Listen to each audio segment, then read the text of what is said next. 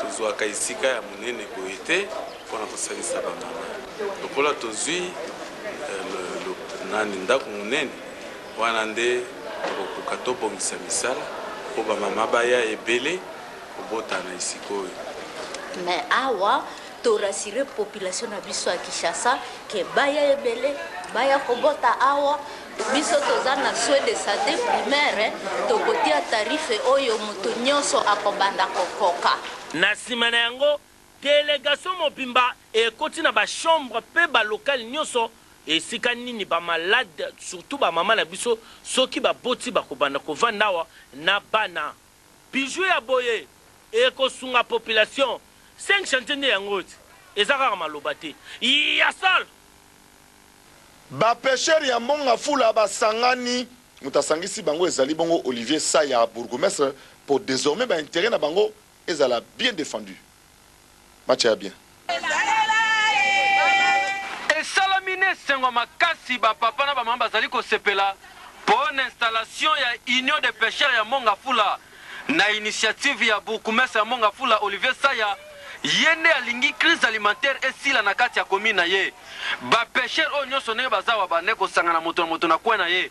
Asangisi bango mpo na pool moko basala mosala esika moko afin que ata bakonzi ba soutenir bango bayeba nani president. bayeba ndenge bakokabola makambo nionso na presence ya ministre provincial ya agriculture peche et elevage Noël Botakile ye nde ayaki mpo na ko installer bango moko moko aleki apesi ye mbote mpe a feliciter bango eleki kitoko makasi mbisi oyo na ngulu oyo ezali symbole ya biloko oyo ba pecheurs bapesi na Bourgoumestre Ambongo Afula mpe na ministre suka na yango Boyoka ministre Noël Botakile ndenge alobi. Nasepeli mingi surtout na bourgoumestre ya mont ngafula il faut ba bourgoumestre misusu ya ezala ya masina ya kimbanseke ya ndjili ya maluku ya nsele balanda exemple oyo donc il faut ko associer ba population maboke maboke parce que na maboko ebele nde toko tonga kinshasa.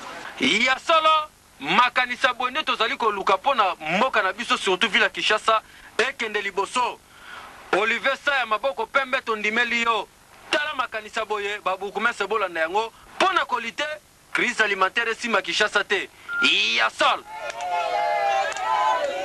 Esalamaki na impact na ideologie na ndenge ya kosakana te parti oyo babengi pecco ya Didas Pembe Plein ya kosakana te message eleki botala reportage oyo ya lingala facile but na filet.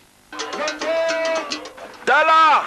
Mayi ya sika ba parti nanu ezala te parti ecologiste parti oyo etali makambo ya environnement etali vie ya congolais directement oyo eza kaka ba interet politique te nanu nanu ndenge congolais esengeli a vivre Didas Pembe, president national ya parti ecologiste basalaki sortie officielle samedi oyo avec impact na ideologie, ba invites ya ba partis ndenge na ndenge bazalaki na pointe mais eloko ekamuisaki biso plein oyo Didas Pembe asalaki mokolo ya samedi wana tomilobeli soki parti oyo ebandi kala to ebandi kaka sikoyo yango wana sima ya manifestation oyo elekaki kitoko le president ya parti ecologiste congolais Alobaki na micro ya lingala facile.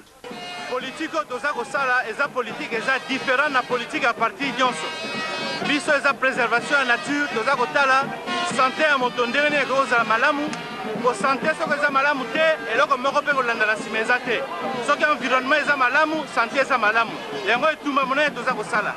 De part. Ba foret na biso ezali ebele ezali ko kosalisa mboka mokili na kobenda ba ba mosoto ba industriel baza ko produire ba mosoto biso tobenda eza na compensation moko te liputa moko ezali te yango wana tozosala makasi mpona bafuta biso mpe ba milliard oyo boye ba foret na biso eza ko rendre comme service. Iya solo papa. Tondimeli yo, souci nayo ezali environnement ya rdc ebonga, misusu kaka mbongo. Parti oyo ecologiste bango balobi baza quatre nzela te sima ya Joseph Kabila Kabange kosalisa ba cinq chantiers ekende liboso appui total ya mokonzi ya mboka. Kokamwa hein match eza kitoko. Ba beta masolo ya ba base ba kosa mais botala base ya solo Gecoco Bulumba mwana ya cote d'azur kingabwa impact na edologie alakisi ya ye base wapi ya yo? Tala avenue kulumba solution na yango ezuami.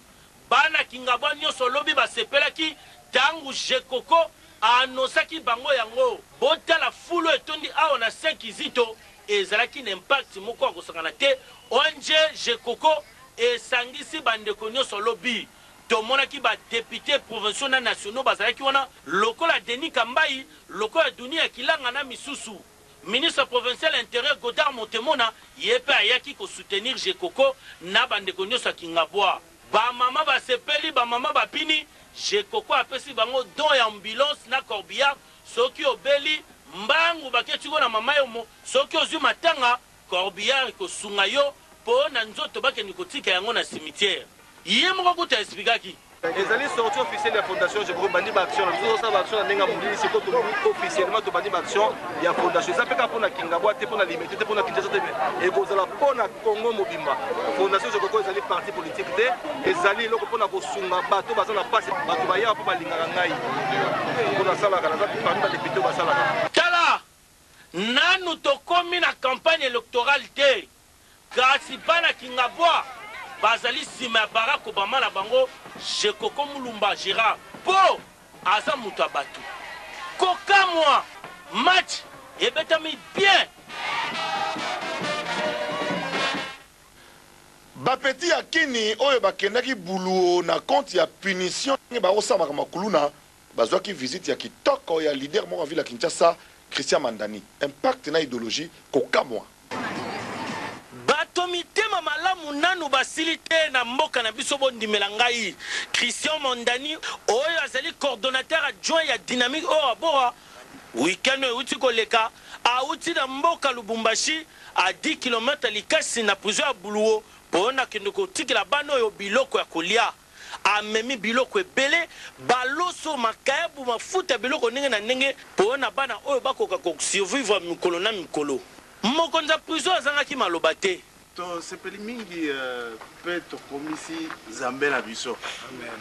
Tolobi. Nzambe apambola bino. Biso awa na kati ya boloko toza na moto mosusu te akoki kotala biso soki Nzambe te. Apart Nzambe tomoni nde bino. Yango tolobi, na biloko oyo bosalisi, bopesi, tosepeli mingi. Merci beaucoup, merci beaucoup, Nzambe apambola bino. Na suka na yango, Christian Mandani akeyi koluka Maire ya ville ya Likasi po na ko remercier ye na ndenge apesaki ye autorisation ya kokutana na bakonzi oyo ya prison ya Buluwo. Ya solo, Christian Mandani. Bana Buluwo basengi ye merci mingi mpe bakonzi ya prison ya Buluwo balobi mbala liboso bamona makambo ya boye.